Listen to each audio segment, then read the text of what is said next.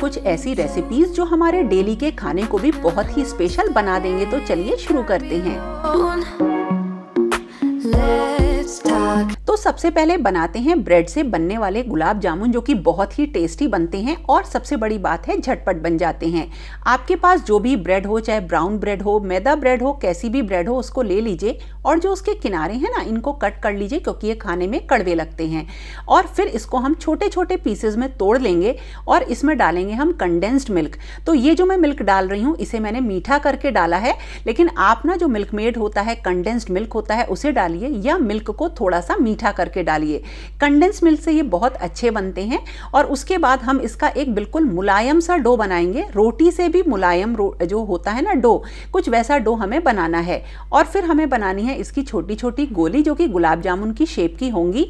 बस ध्यान ये रखिएगा कि हमारा जो डो प्रिपेयर हो, वो हल्का सा मुलायम हो। अगर आप टाइट डो बनाएँगे तो ये थोड़े से टाइट बनते हैं और जब इसकी गोली बनाए तो इसके अंदर कोई किशमिश वगैरह रख दीजिए। अब हम चाशनी बनाएँगे। एक कप ली चीनी और एक कप पानी डालकर इसको थोड़ा सा गाढ़ा होने तक पकाएँगे। और जब ये पक जाएगा ना तो इसे गर्म ही रखेंगे, क्योंकि इसमें हमें डालने हैं गुलाब जामुन। तो देखिए, ये पक गया और जो हमने अब गुलाब जामुन बनाए थे, इनको हम फ्राई कर लेंगे। बिल्कुल धीमी या मीडियम फ्लेम पर हम इनको हिलाते हुए जो है सेकेंगे और थोड़ा डार्क ब्राउन कलर तक इसको सेकेगा, क्योंकि जब हम इसे चाशनी में डालते हैं तो इनका कलर लाइट हो जाता है। गर्मा गर्म निकाल के गर्म चाशनी में इसको डाल देंगे और बस रेडी हैं हमारे गुलाब जामुन। हाँ इनको 10 से 15 मिनट के लिए चाशनी में डूबा रहने दीजिए। और हाँ इनके अंदर ज़रूर से भरिए कोई मेवा। और जो ये ब्रेड क्रम्स बनाने के लिए ना ये रेडी हो गए हैं साइड के टुकड़े। तो ये तैयार हैं बहुत ही टेस्टी गुलाब जामुन जो कि हमने ब्रेड से बनाए हैं। हाँ आप इसमें मिल्क मेड ही मिलाइएगा।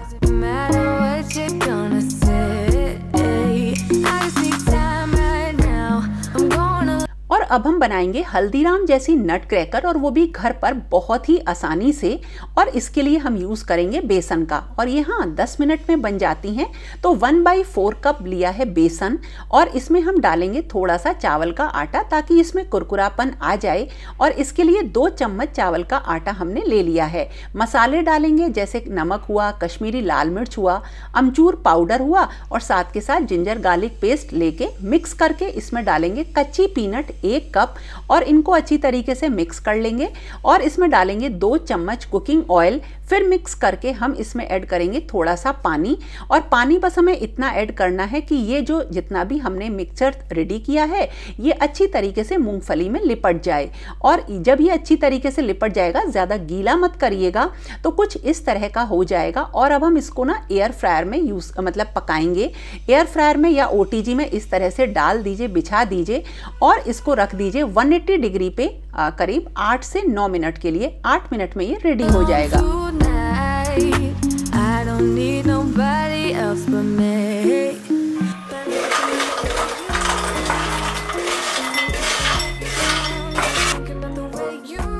लीजिए तैयार है बिल्कुल मार्केट जैसी नट क्रैकर और अब बनाते हैं घर पे ही कंडेंस्ड मिल्क बहुत ही आसान सी ये रेसिपी है जो कि हम दूध से बनाएँगे। और इस दूध को हमने रख दिया गैस पर। यह भी कच्चा दूध है और इसमें डाली शुगर, चीनी, एक कप। और उसके बाद हम इसे फ्लेम ऑन कर देंगे और गैस पर लगातार चलाएँगे। और लगातार चलाना इसलिए भी ज़रूरी है क्योंकि दूध और चीनी के मिलने से दूध फटने का डर रहता है। लगातार चलाते रहिए और उसके बाद जब ये बॉयल हो जाए तो रुक रुक के चलाइए, गाढ़ा होने लगेगा। कलर में हल्का सा बिल्कुल पीलापन आएगा और इसमें झाग बनने देखिए इस तरह से शुरू हो जाएँगे। अगर इसे आप मीडियम फ्लेम पे चला रहे हैं ना तो लगातार जो है आपको खुद खड़े होकर इसे चलाना है। अदरवाइज़ इसे लो फ्लेम पे रखिए। जब ये बिल्कुल गाढ़ा हो जाएगा तो इसकी फ्लेम को ऑफ़ कर दीजिए और उसके बाद हम इसे गैस पे से उतार लेंगे। लेकिन ठंडा अभी हमको इसको नहीं करना है। बस गैस पे से इसे उतारना है। देखिए, ये गाढ़ा हो गया है और इसमें डालेंगे बिल्कुल जरा सा पिंच ऑफ़ बेकिंग सोडा। बिल्कुल जरा सा बेकिंग सोडा डालेंगे और उसके बाद लगातार इसको चलाएँगे।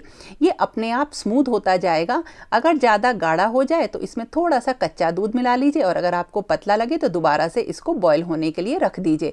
बहुत आसान रेसिपी है। इतना बढ़िया मिल्क मेड तैयार होता है कंडेंस मिल्क तैयार होता है कि मार्केट से और घर के बने हुए में डिफरेंस करना मुश्किल हो जाता है।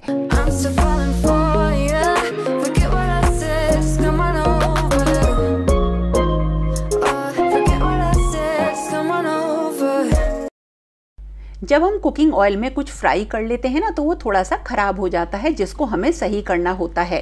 काफ़ी गाढ़ा ये हो जाता है और ये हेल्थ के लिए भी सही नहीं रहता है। तो चलिए बताती हूँ कि किस तरह से इस कुकिंग ऑयल को हम सही कर सकते हैं। तो ये करीब एक ग्लास कुकिंग ऑयल है, जो काफ़ी गाढ़ा हो गया है और इसे मैंने छान लिया है। और अब लेंगे हाफ़ कप पानी और इसमें हम मिक्स करेंगे कॉर्नफ्लोर कभी करीब ढाई बड़ा चम्मच लेंगे। अच्छे तरीके से मिक्स कर लेंगे ताकि इसमें गुठले ना रहें और इसे तेल में मिला देंगे कुकिंग ऑयल में, जो कि यूज्ड कुकिंग ऑयल है। इसे थोड़ी देर चलाइएगा, तभी ये मिक्स होता है और बिल्कुल धीमी आँच पर हम इसको चढ़ा देंगे एक भारी तले की कढ़ाई में और लगातार चलाते रहेंगे। कॉर्नफ्लोर के देखिए गुठले पड़ने लगते हैं और जितनी भी इम्प्योरिटीज़ या गंदगी तेल की होती है, वो कॉर्नफ्लोर सोख लेता है। और आपका जो ऑयल है ना, ये धीरे धीरे क्लीन होता जाएगा। बस इसको लगातार धीमी आँच पे चलाते रहिए और देखिए ये बिल्कुल ट्रांसपेरेंट हो जाएगा और लाइट हो जाएगा। और सारी इम्प्योरिटीज़ इसमें से चली जाएँगी। ये एक बहुत ही अच्छा तरीका है जिससे आप अपने यूज्ड कुकिंग ऑयल को क्लीन कर सकते हैं। तो आगे से जब आप क्या कोई भी कुकिंग ऑयल में आप दो तीन बार आ, मतलब फ्राई कर लें सामान तो उसके बाद उसे क्लीन कर लीजिए। वरना हम फ्राइड जो आ, कुकिंग ऑयल होता है ना जिसमें फ्राई कर लेते हैं चीज़ें वो बिल्कुल भी सही नहीं होता है। बिल्कुल ट्रांसपेरेंट बिल्कुल बढ़िया साफ़ कुकिंग ऑयल इस तरीके से रेडी हो जाता है।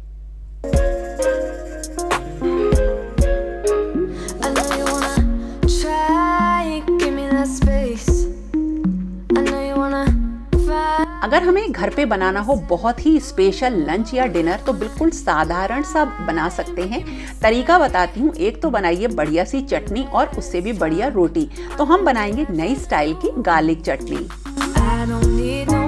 इसके लिए एक कप गार्लिक को हमें ना कूट लेना है छीलने के बाद और इसमें मिलाने हैं मसाले जैसे लाल मिर्च हुआ, धनिया पाउडर, हल्दी पाउडर और नमक। और इनको अच्छे से मिक्स कर लेंगे और इसमें थोड़ा सा हम डालेंगे पानी बिल्कुल जरा सा और इनको मिक्स करने के बाद हमने लिया पीली सरसों और जीरे को और इसे थोड़े से ऑयल में हमने इस तरीके से भून लिया और फिर इसमें ये मिक्सचर गार्लिक मिक्सचर मिला के थोड़ा सा पका के कसूरी मेथी, अमचूर पाउडर मिला लिया थोड़ा सा और पकाया ताकि इसका पानी जल जाए और रेडी है बढ़िया गार्लिक चटनी। और अब इसके साथ खाने के लिए बनाएँगे स्पेशल तंदूरी रोटी। एक आटा बना लीजिए, जिसमें कि थोड़ी सी कसूरी मेथी और अजवाइन और थोड़ा सा कुकिंग ऑयल मिला हुआ हो और उसकी थोड़ी सी मोटी रोटी इस तरीके से बना लीजिए।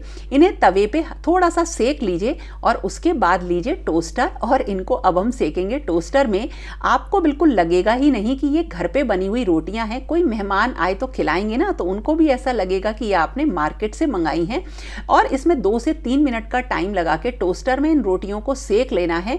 इतनी बढ़िया ये रोटी रेडी होंगी कि आप और आपके बच्चे डेली ही इसको बना के खाएँगे।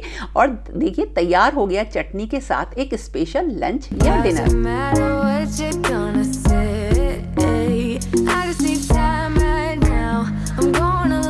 अब मैं आपको बता रही हूँ, चने दाल से पनीर बनाना जो चना दाल होती है, बहुत ही टेस्टी ये सब्ज़ी होती है, बिल्कुल डिफरेंट सी। इसके लिए मैंने डेढ़ कप के करीब चना दाल ली है और इसको सोक कर लिया तीन से चार घंटे के लिए और अब मिक्सी में पीसेंगे जिंजर ग्रीन चिलीज गार्लिक और कसूरी मेथी इसमें डालेंगे और इसमें डालेंगे कुछ मसाले जैसे लाल मिर्च हुआ और धनिया पाउडर हुआ और डालेंगे दो बड़े चम्मच दही और इसका बिल्कुल बारीक पेस्ट बना लेंगे, पानी नहीं डालेंगे। अब एक भगोने में पानी चढ़ाया, छलनी रखी, ऊपर से एक मलमल का कपड़ा रखा और उसके ऊपर इस पेस्ट को इस तरह से फैला लेंगे और ढक देंगे और इसे तब तक पकाएँगे जब तक कि ये अच्छी तरीके से सॉफ्ट नहीं हो मतलब पक नहीं जाता और साथ के साथ हम एक ग्रेवी की तैयारी भी कर लेंगे, जैसे भी आप ग्रेवी बनाना चाहें उस तरह की। और ये देखिए बिल्कुल बढ़िया तरह से पक गया है और इसके छोटे छोटे पीसेस काटेंगे। बिल्कुल सॉफ्ट पीसेस इसके होते हैं। और अब हमने ना थोड़ा सा लाल मिर्च पाउडर, धनिया पाउडर और हल्दी पाउडर डाल के इनको अच्छी तरीके से सेक लेंगे और हाँ जिंजर गार्लिक पेस्ट ज़रूर डालेंगे। बढ़िया स्नैक ये रेडी हो जाता है। ये इतना टेस्टी लगता है खाने में कि आप ऐसे ही इनको खाएँगे। लेकिन अगर आप इनको थोड़ी सी ग्रेवी में जब डालेंगे ना तो ये बिल्कुल एक स्पेशल अलग ढंग की रेसिपी यानी कि सब्ज़ी तैयार हो जाएगी। ज़रूर ट्राई करिएगा। Need nobody else but me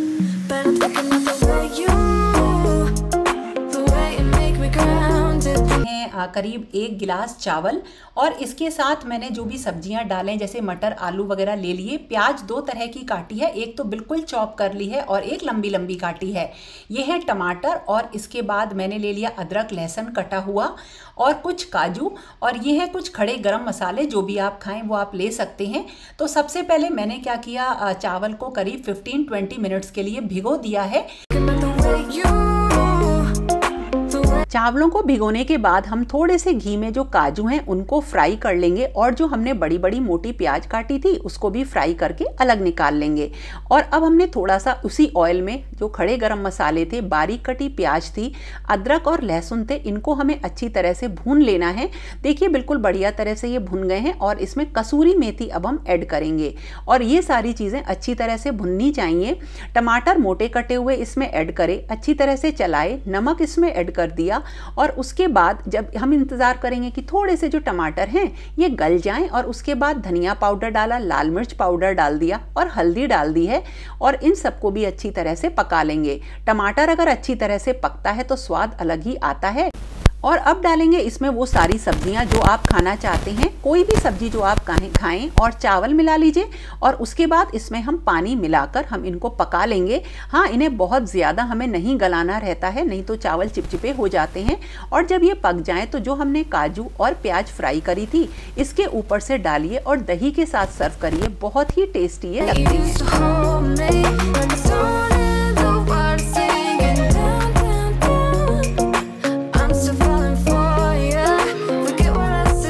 आप लोगों ने मुझसे कमेंट किया था कि जिसके पास अवन नहीं हो, वो कैसे केक बनाए? तो एक तो कढ़ाई में बन जाता है और एक बहुत ही जल्दी मतलब मुश्किल से पाँच मिनट में बनने वाला केक बताती हूँ जो कि बनेगा अप्पे मेकर में। तो इसको बनाने के लिए हमें जो है ना, मैंने गेहूँ का आटा या मैदा, आप कुछ भी ले लीजिए, ये मैंने लिया है एक कप। पिसी चीनी भी ली एक कप मैंने और कोको पाउडर, दो बड़ा चम्मच इसमें यूज़ करेंगे, चॉकलेट केक बना रहे हैं। एक बड़ा चम्मच लिया मिल्क पाउडर और बेकिंग पाउडर, एक छोटा चम्मच और बेकिंग सोडा, आधा छोटा चम्मच। इन सबको छान लिया, ये हमारा ड्राई पार्ट है और इसको अलग करके रख देंगे और बिल्कुल इसी तरीके से हमारा जो लिक्विड पार्ट है, वो बनाएँगे। इसे बनाने के लिए हमें दो तीन चीज़ें केवल चाहिए, जिसमें सबसे पहले चाहिए दूध, जो कि थ्री बाई फोर कप लिया है, और कुकिंग ऑयल लिया है वन बाई फोर कप इसमें डालेंगे दही वन बाई फोर कप कोई मिल्कमेड वगैरह नहीं डालना है इसमें। बस इसे मिक्स करिए और दोनों चीज़ों को आपस में मिला के बस अच्छे से मिक्स कर लीजिए इनको। और इसमें मैंने थोड़ा सा जो है ना विनेगर डाल लिया। करीब आधा चम्मच, एक चम्मच इसमें विनेगर डाल के हम जो हैं, इसे ये अब हमारा ना रेडी हो गया। तो केक के, ये बिना एग का बनेगा और इसमें कुछ भी ऐसी चीज़ नहीं है जो स्पेशल हम लें। हाँ बस ये अप्पे मेकर स्पेशल है, मैंने नया लिया है और इसी में बहुत आराम से बन जाता है ये जो केक होता है। अब क्योंकि इसमें छोटे छोटे होल्स होते हैं तो इसी में केक का ये बैटर ऊपर तक डाल दिया है।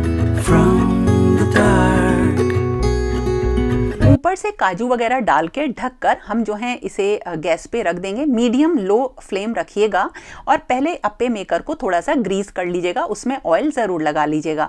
देखिए, ये फटाफट फूलने लगते हैं चार से पाँच मिनट में और मैक्सिमम सात से आठ मिनट में ये बन के तैयार हो जाते हैं। कुछ भी इसमें नहीं करना पड़ता और बहुत ही बढ़िया ये बनते हैं।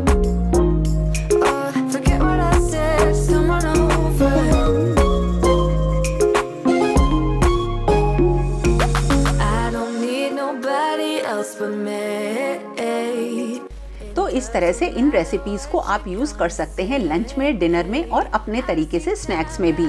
तो कैसा लगा आपको आज का वीडियो ज़रूर बताना और पसंद आए तो लाइक करना मत भूलना। तो दोस्तों फिर मिलेंगे एक नए और इंटरेस्टिंग वीडियो के साथ। तब तक के लिए okay friends thank you and bye